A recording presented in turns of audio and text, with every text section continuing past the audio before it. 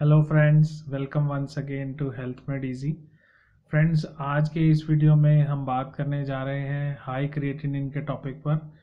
Friends kidney problem से related जितने भी पेशेंट्स होते हैं या यूरिनरी ट्रैक की प्रॉब्लम से रिलेटेड जो पेशेंट्स होते हैं, उसमें अक्सर फिजिशियन ब्लड क्रिएटिनिन जिसे कि सीरम क्रिएटिनिन भी कहा जाता है, इसकी जाँच करवाते हैं। तो आज इसी के बारे में हम बात करने वाले हैं। तो फ्रेंड्स आइए सबसे पहले हम ये जानते हैं कि क्रिएटिनिन होता क्या है। फ्रेंड्स हमारी बॉडी के मसल सेल में एक कंपाउंड स्टोर होता है, जिसे कि क्रिएटिन कहा जाता है। हमारे मसल्स को अपनी फंक्शनिंग के लिए एनर्जी की रिक्वायरमेंट होती है और ये क्रिएटिन हमारे मसल्स को एनर्जी प्रोवाइड करता है, जिससे हमारी बॉडी में मसल्स अपना फ़ंक्शन करते हैं।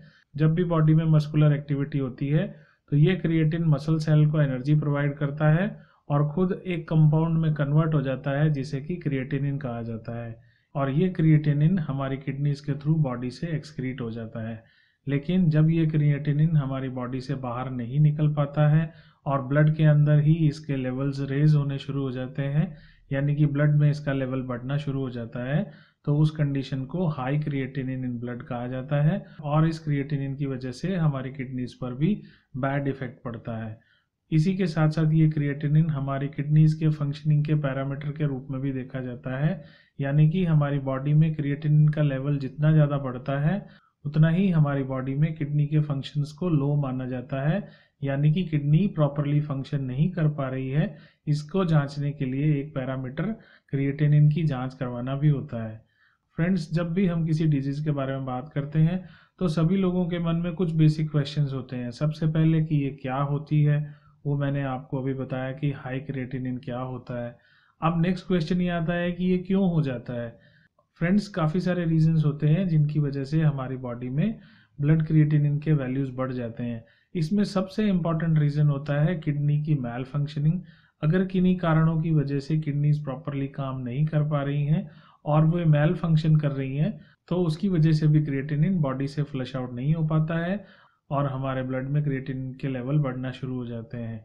इसके अलावा नेक्स्ट इंपॉर्टेंट रीज़न में अगर हमारी किडनीज में किसी तरह का ऑब्स्ट्रक्शन है, यानी कि किसी तरह की रुकावट किडनीज में आ रही है और इसकी वजह से क्रिएटिनिन बॉडी से एक्सक्रीट नहीं हो पा रहा है तो ये भी हमारी बॉडी में क्रिएटिनिन के बढ़ने के कारण के रूप में देखा जाता है।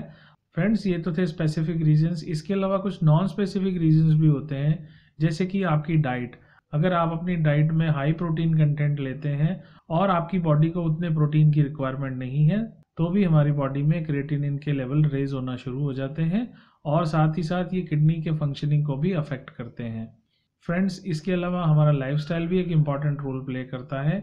फ्रेंड्स इसके अलावा वे लोग जो अपनी डेली रूटीन में इंटेंस एक्सरसाइज या हाई इंटेंसिटी एक्सरसाइजेस करते हैं उन लोगों की बॉडी में मसल्स में क्रिएटिन के ज़्यादा ब्रेकडाउन होने की वजह से भी ज़्यादा क्रिएटिनिन प्रोड्यूस होता है और उन लोगों में क्रिएटिनिन के लेवल हाई होने के चांसेस रहते हैं।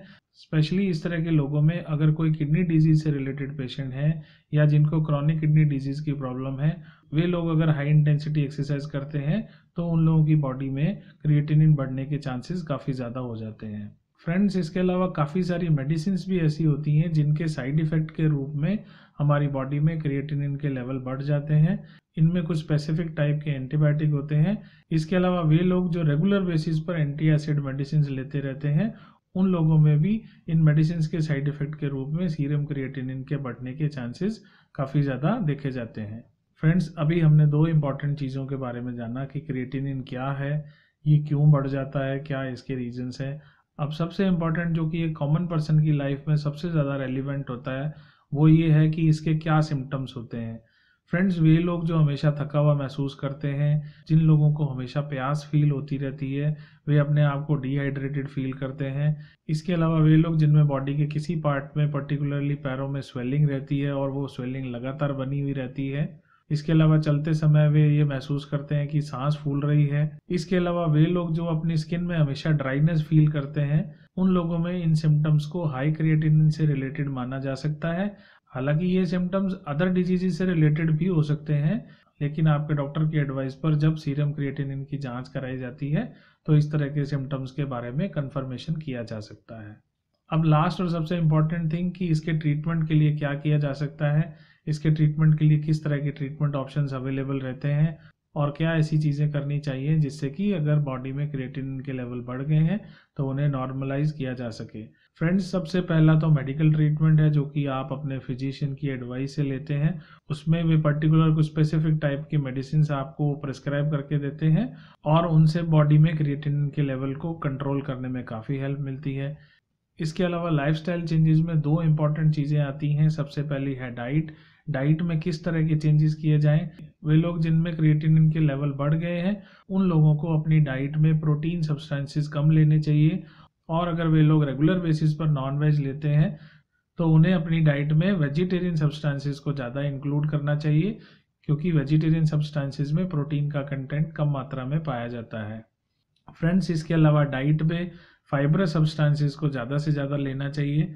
इसी के साथ साथ अपनी डाइट में वाटर इनटेक को भी बढ़ाना चाहिए और रेगुलर बेसिस पर थोड़ा थोड़ा पानी पीते रहना चाहिए। हाँ अगर आप किडनी पेशेंट हैं तो आपको इस चीज़ का ज़रूर ध्यान रखना चाहिए कि जब भी आप वाटर इनटेक को बढ़ाएँ, उससे पहले अपने फिजिशियन से ज़रूर कंसल्ट कर लें। फ्रेंड्स इसके अलावा डेली एक्सरसाइज पैटर्न में आप कोशिश करें कि आप विगरस एक्सरसाइज या हाई इंटेंसिटी एक्सरसाइजेस कम रखें। और आप लो इंटेंसिटी एक्सरसाइजेस को अपने डेली एक्सरसाइज रूटीन में ज़्यादा प्रेफर करें, ताकि मसल्स के अंदर क्रिएटिन का ब्रेकडाउन धीरे धीरे हो और बॉडी में सडनली हाई क्रिएटिनिन रिलीज़ ना हो। सो so फ्रेंड्स ये तो थी क्रिएटिनिन से जुड़ी इंपॉर्टेंट इन्फॉर्मेशन जिसमें मैंने आपको क्रिएटिनिन से जुड़े सारे फैक्ट कि ये क्या होता है, ये हमारी बॉडी में क्यों बढ़ जाता है, क्या इसके कॉमन सिम्टम्स होते हैं और इसके ट्रीटमेंट के लिए क्या करना चाहिए, इन सभी के बारे में डिटेल में आपको बताया।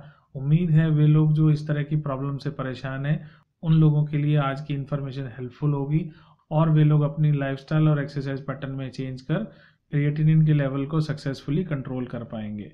सो so फ्रेंड्स ये तो था आज का हेल्थ अपडेट आज का वीडियो अच्छा लगा हो तो इसे ज़रूर लाइक करें। अपने फ्रेंड्स के साथ भी ज़रूर शेयर करें।